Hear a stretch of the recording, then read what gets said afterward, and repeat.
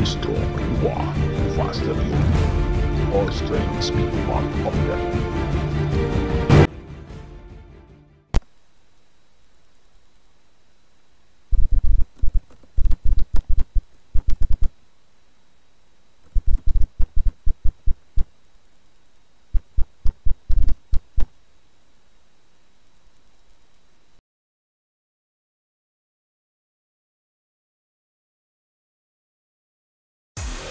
Halo bro, bergabung bersama saya Wisang Gaming Vlog.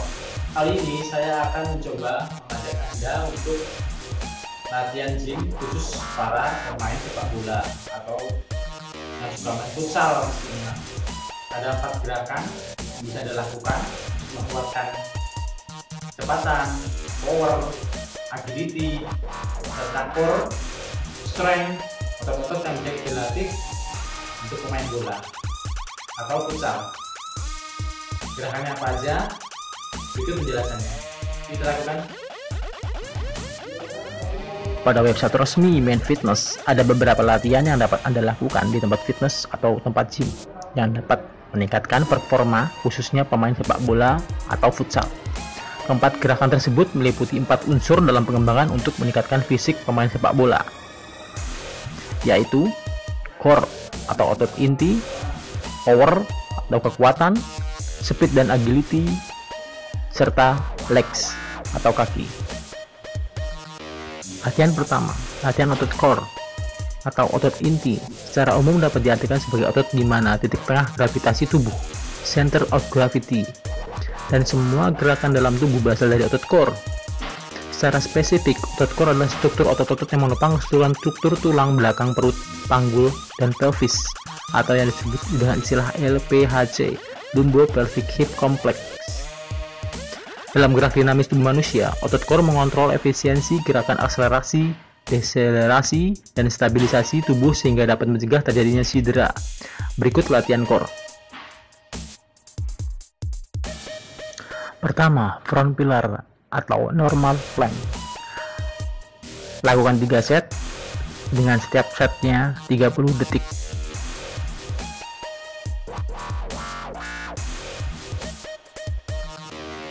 Kedua, side pillar atau side plank. Lakukan 3 set dengan setiap setnya 30 detik.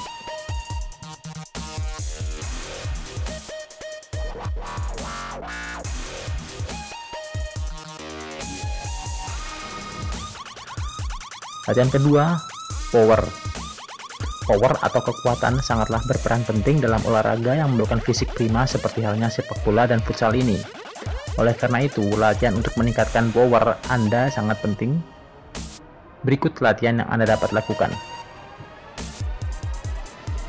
Latihan latihan pertama, single leg hard hop linear. Seperti halnya melompat, namun dengan menggunakan satu kaki ke depan. Lakukan 2 set dengan empat kali lompatan setiap kaki.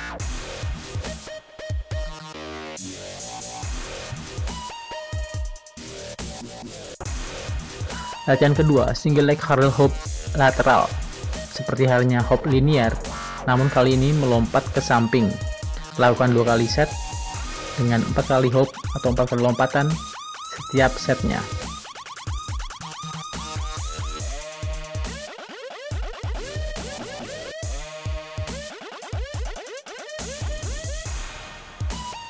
Ketiga, speed dan agility.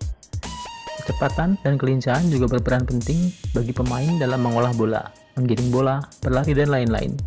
Berikut latihan yang dapat Anda lakukan untuk meningkatkan speed dan agility Anda. Pertama, lunge. Seperti halnya berjalan, namun dengan sudut yang lebih rendah di setiap dan langkah yang kita buat. Tekuk kaki ke depan 90 derajat, hingga ke belakang 90 derajat. Langkah kaki menyerong atau zigzag guna membantu keseimbangan tubuh. Latihan ini akan melatih paha, betis, dan pantat sekaligus.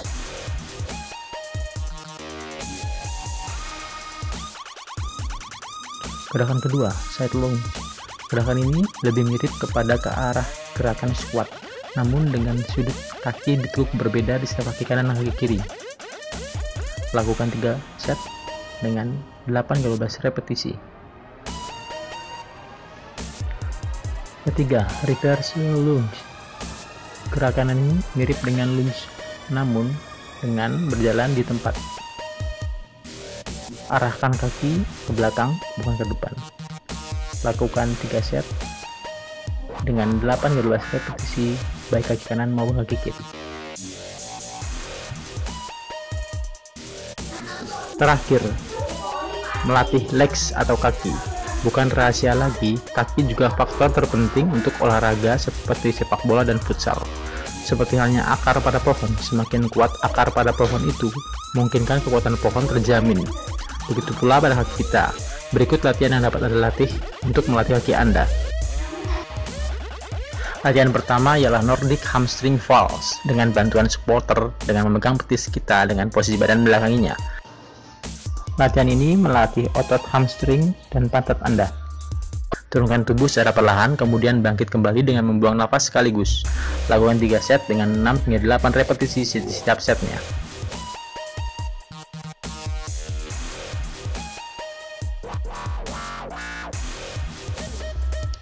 Latihan kedua, leg extension. Gerakan ini melatih otot quadricep Anda. Usahakan punggung tetap tegak lurus. Angkat kaki hingga kaki lurus dengan paha. Buang nafas saat posisi kaki di atas. Lakukan 3 set dengan 8 hingga 12 repetisi di setiap setnya.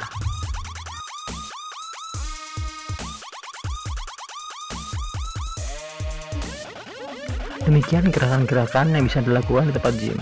Semoga bermanfaat. Terima kasih.